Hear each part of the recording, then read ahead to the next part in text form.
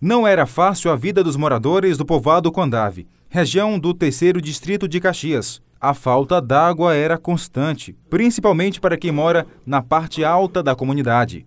Agora que a água realmente estabilizou, porque colocaram outra bomba, que essa bomba está jogando água para cá e não faltou. Porque tem a outra parte do Condave que fica na parte de baixo, que ainda não se estendeu até lá, mas a promessa dele é que chega até lá. Até porque quem mora aqui no interior, a gente precisa dessa água. Ainda mais agora no tempo de estiagem, porque sem água como é que a gente vai fazer, fazer esse plantio? Não tem condição. E a água é maravilhosa, a gente ter água em casa, abrir a torneira, ter água, não, não ter que ir no riacho a 50 metros para pegar, mas foi muito bom. O nosso trabalho é levar qualidade de vida para as pessoas e estamos cumprindo a determinação do prefeito Fábio Gentil de priorizar as famílias da zona rural.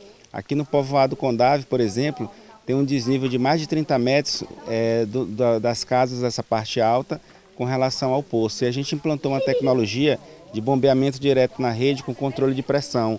Então a gente consegue fazer com que a água chegue aqui numa pressão controlada, sem estourar os canos e também sem deixar a água fraca no momento de alto consumo.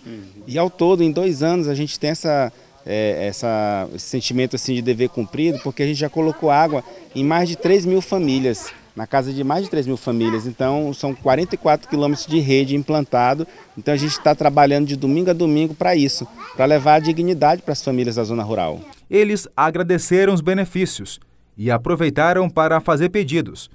É que, por conta das fortes chuvas, a estrada ficou comprometida e os buracos atrapalham o vai e vem dos veículos.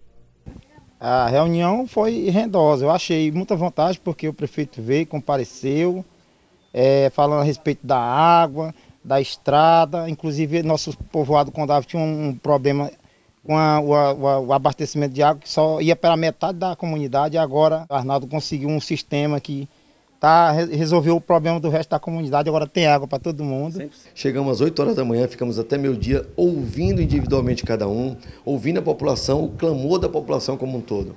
Lá retratavam a água como qualidade de vida. Trabalhamos, colocamos água encanada em todas as casas. A estrada está intrafegável e eu concordo e vi com meus próprios olhos.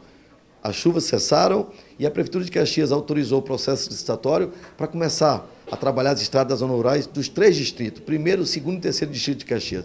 E o Condado especificamente também irá ser trabalhado até o povoado Santa Rosa, Aliança,